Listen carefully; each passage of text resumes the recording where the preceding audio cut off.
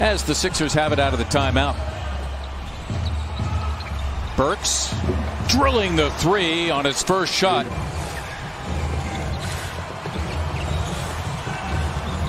Alec Burks, tough two for Burks.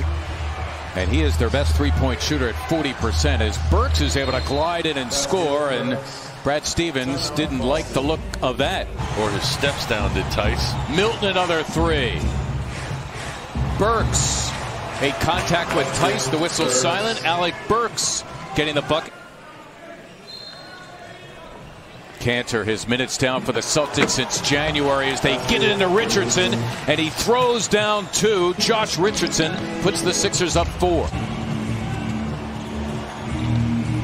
Alec Burks stepping in and stroking two and a foul as well. Again, you see Tyson in front of him. You're thinking not much there. Gathers his feet, pulls up, and Theis with the bad closeout. You can see just out of position there. Feet touching, hand touching. Burks again. Harris the tip. Burks, not once but twice for Alec Burks. Give him 17, six unanswered.